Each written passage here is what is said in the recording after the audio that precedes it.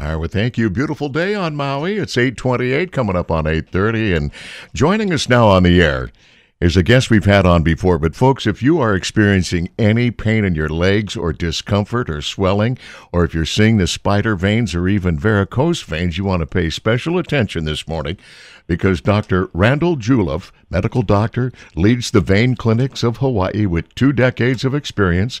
He's treated hundreds of patients with venous disorders as well as a range of vascular and thoracic and cardiac uh, disease.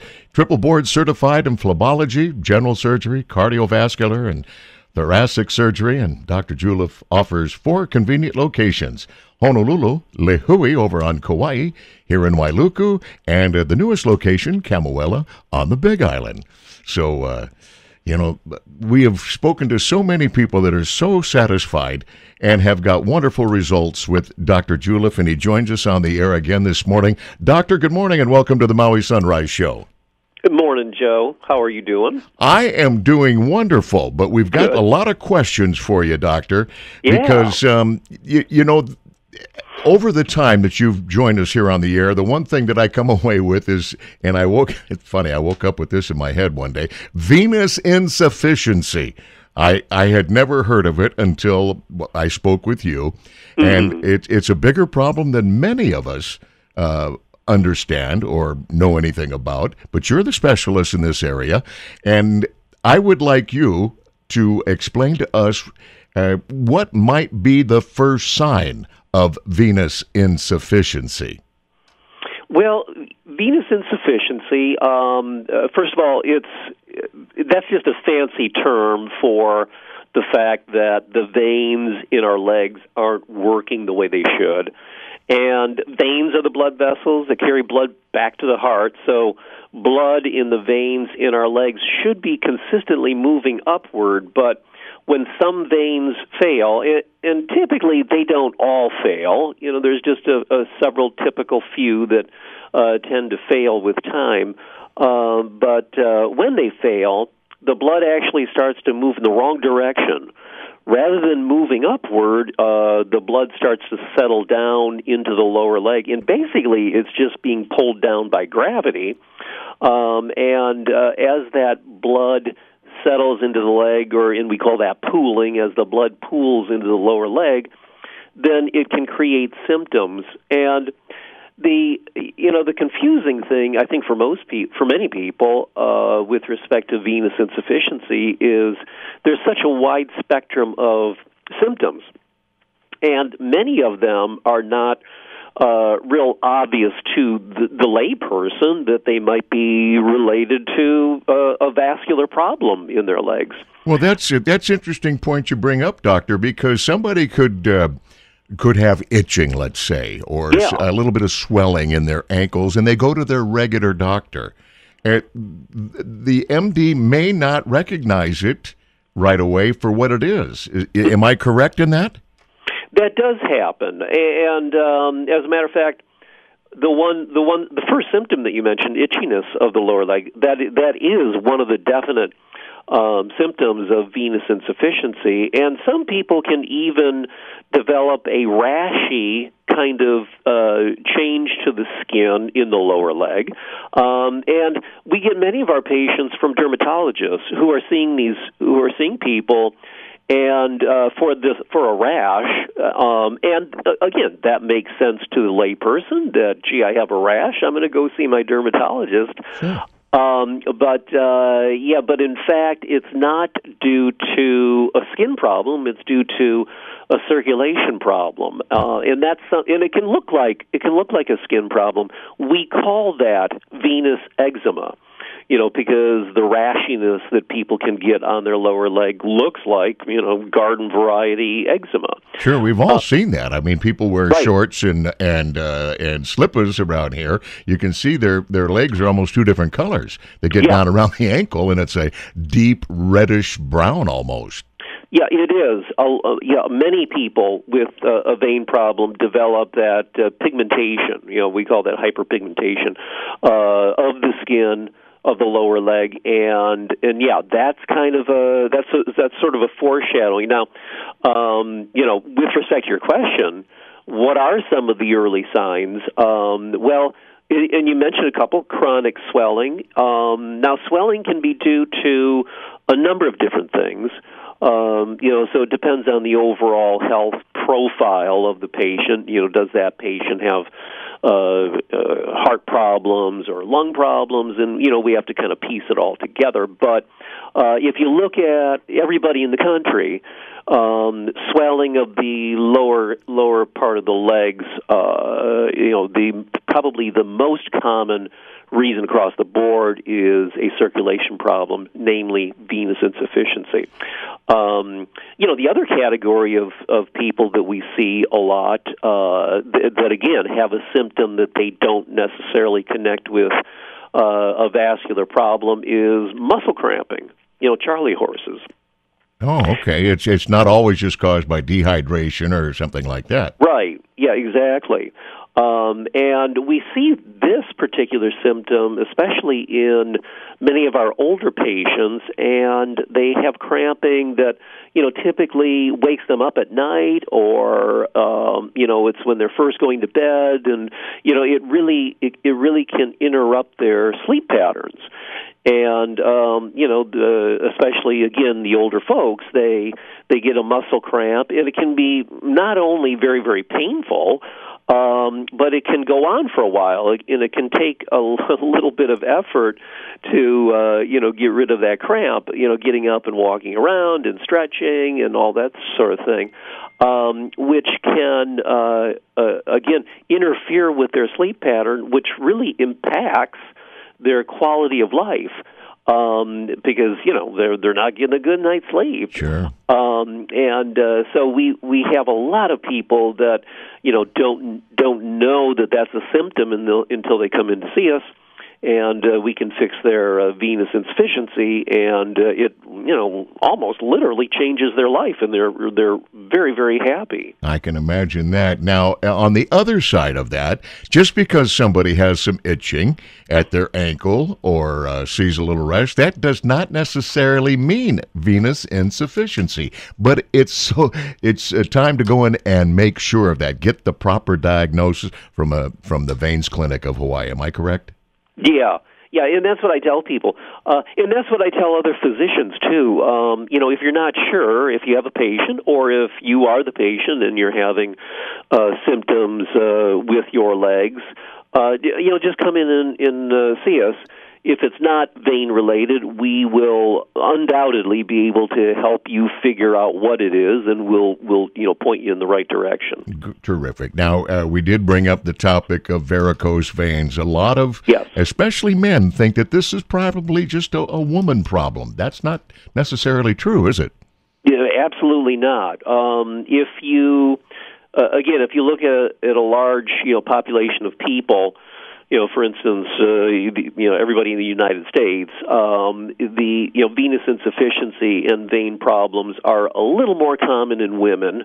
Um, and that's primarily because of pregnancy. Pregnancies can be very hard on veins and, and vein function, um, and uh, you know the hormonal changes that that go along with that, and then also hormonal changes that occur, you know, later in life. But uh, you know, so it's a little more common. But I got to tell you, we see a lot of men uh, come in with you know all of these symptoms, and uh, and we and, and you know obviously we treat them too. Um, in our practice. Uh, it's got to be very, very close to 50-50. You know, hmm. fifty percent men, fifty percent women. That's surprising. I, that that surprises me.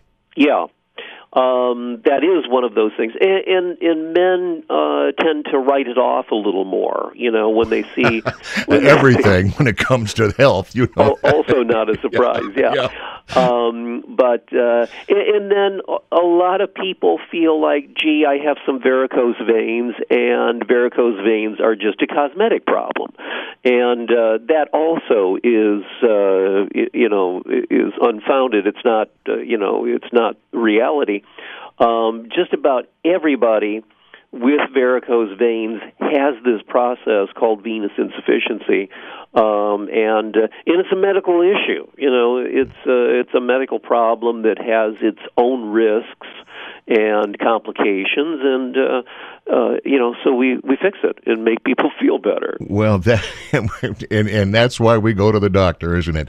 Okay, yeah. now you say that uh, it's pretty close equal for men and women. Uh, right. A question would be what determines who gets varicose veins? I mean, is it is there something we can do in uh, in our life when we're younger? I'm talking about exercise and this way, eating better, taking care of ourselves, uh, or at any time in our life. Is there something we can do, or is it just luck of the draw, or yeah. bad luck of the draw, uh, to get these things? Yeah. Um, yeah, venous insufficiency is um, very much uh, you know determined by genetics. Hmm. So you know it's something that we inherit from parents and grandparents. Um, so you know people so people are sort of born with a genetic predisposition to develop it.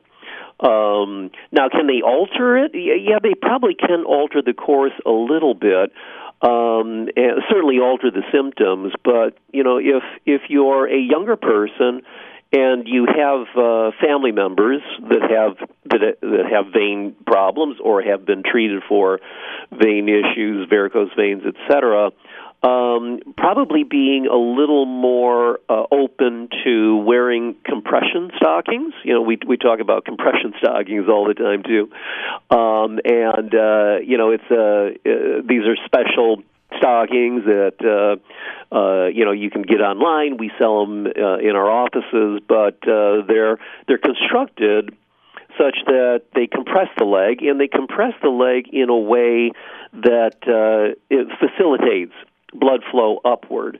So they're actually called graduated compression. The most of the compression is down around the foot and the ankle, and then it lessens as it comes up. And again, the theory is that you're, uh, you know, facilitating blood upward, which is the direction that it should be moving. So, um, I think being aware of that, and then again for a younger person, knowing that they have potentially a risk of developing venous problems in in the at some point in the future, and then in being aware of the symptoms.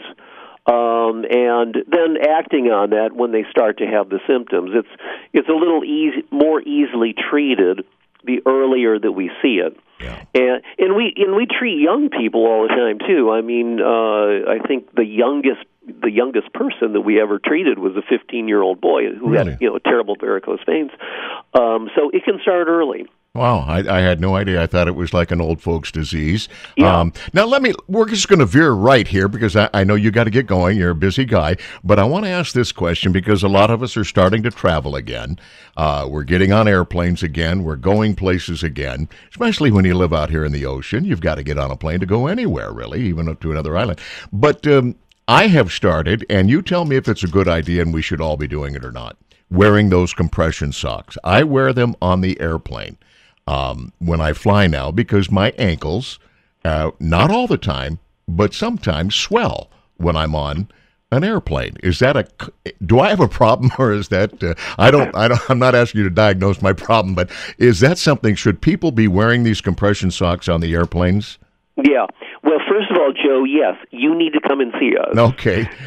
because if if you have swelling in that situation, then it may very well, you know, indicate that there's, you know, oh, a, a, problem with vein function. Okay. Um, but to answer your question, um, you, uh, across the board, I think everybody should wear compression stockings on airplanes because of the fact that uh, that that's one of the prime uh, uh, prime kind of situations where people can develop blood clots in their legs.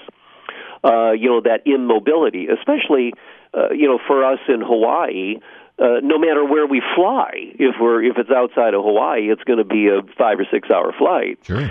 Um, and uh, in what's happening there is that you know during that five or six hours, you you're sitting most of the time, and you know you're not contracting your muscles, and the blood sort of you know stops moving, it kind of stagnates in in areas, especially in your legs, and um, and that's a you know that's a setup, a perfect setup for a blood clot to form. Now, some people are more prone to blood clots than others. Um, but like I said, across the board, I recommend that everybody wear compression stockings. You are protecting yourself from developing a blood clot. The other two things is to get up and walk around. You know, the uh, unfortunately uh, these uh, the airline personnel they kind of try to keep you in your seat these days. You Yeah, know, they don't yeah. want you walking around much, but you have to. You know, uh, I think for best for best uh, protection, you know, at least every hour, get up and walk around a little bit. The other thing is to you can do, uh, you know, ar- uh, uh, leg and foot kind of exercises while you're sitting in your chair. And often, if you read through the airline magazines these days, uh, you know, kind of on one of those back pages, there's a little article about, uh, you know, the ex- the leg exercises that you can do in your chair, and that's very effective too. Because what you want is that muscular activity. You you want compression and then muscular activity, and that will keep uh, the blood moving through veins. And then the other thing is to you know maintain good hydration, you know during your flight, uh, and probably your fluid intake would be you should probably stay away from gin and vodka. Don't use that for hydration, um, but uh, other things are good. Now you tell me. All right. So- Right. Okay. We're talking with Dr. Randall Juleff. He leads the vein clinics of Hawaii. And folks, if you are experiencing any of the problems that we talked about today, or if you're just not sure or want to rule something out, go see Dr. Juleff and his staff over at, well, they've got offices in Honolulu, Lihue, Wailuku, and over your new ones in Kamuela, correct, on the Big Island? Well, actually, no. The one in Kamuela has, has is our oldest office. Oh, Uh, okay. and that has been there for a long time. But however, we have a brand new office that we just opened several uh, months ago on the Big Island. It's in Hilo, so that's the new one. Okay, well, let me put that here on my notes so I know what I'm talking about next time. Okay, so anyway, Dr. Juleff, valuable information. Always wonderful to have you on the show. And we uh, invite folks to go see you. You're open Monday through Friday, 8 a.m. to 4.30. I'll go ahead and give the phone number. It's 808-214-5715. It's the Vein Clinics of Hawaii, and they're on North Market Street in Wailuku. Easy to find. Make an appointment and uh, let Dr. Juleff uh, assist you in getting your health back in your legs and uh, and put an end to this venous insufficiency. Do we put an end to venous insufficiency, or do we just uh, kind of work with it? I mean, do you always have it, or does it?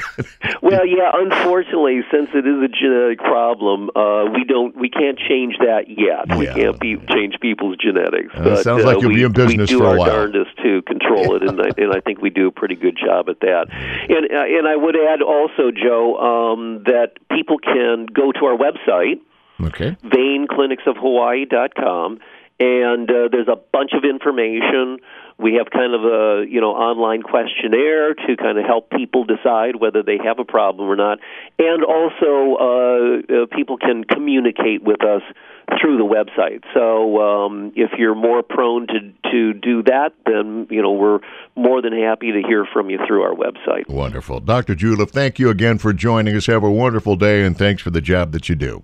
okay thank you joe You take care now. You too hmm There you go. Dr. Randall Juleff, that phone number again at Vein Clinics of Hawaii, 214-5715, online at veinclinicsofhawaii.com.